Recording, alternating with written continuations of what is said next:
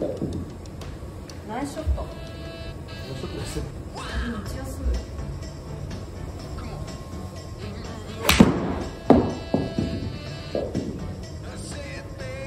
今何球か打っていただきましたけども、結構の形は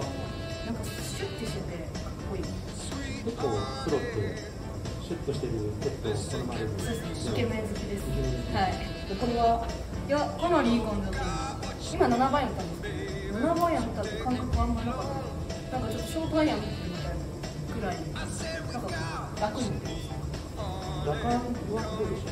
こういう厚みのあるヘッドって結構甲高い音がするイメージがあったんですけど、うん、軟鉄ってい。うか柔らかい音がして私は結構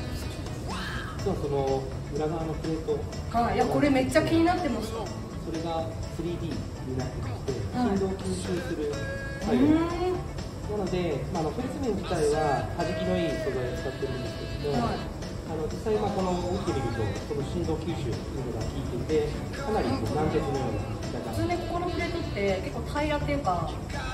なんだろうここに空洞があるからちょっとこう甲高い音がするんですけどなんかこう本当その 3D のプレートを使ってるのがこれが打感につながってるっていうのを聞いて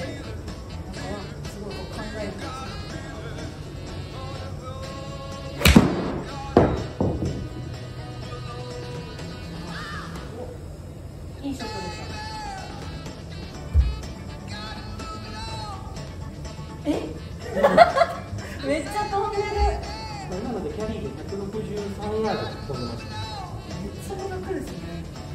いつもよりも、まあ、このクラブになると例えばまあ一番手二番手ぐらいまで小さいクラブ持てる。小さい番手持てることのメリットについて今はどのようにお考えいや絶対飛んだ方がいいですよね。やっぱり短い番手でグリーンを狙えた方がやっぱりバーディーで取れる確率も上がるしコアメイクにつながるところは絶対アイアンも距離を上げた方がいいエルズ NX アイアンはどのようなゴルファーに良いクラブ？といに思われるでしょうか。アイアンがすごい苦手って人もいると思いますしやっぱりこのスイートスポットがやっぱり広い分ミスにすごく強いのでやっぱりそのセカンドでしっかりグリーンを狙っていけるっていうのがすごくいいと思います。